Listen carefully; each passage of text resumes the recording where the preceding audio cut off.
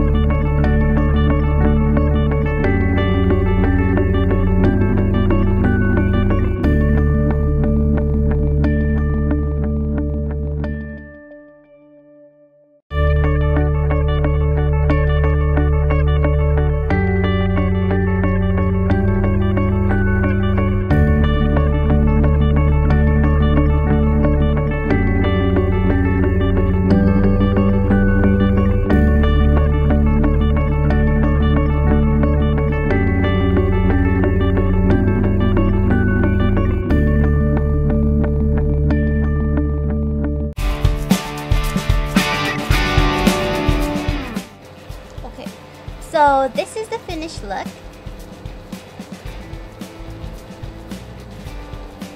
I hope you guys enjoyed this tutorial. If you guys have any questions or suggestions, please leave it on the comment box below.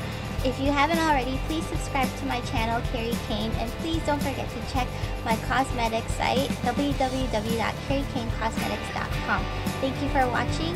Bye!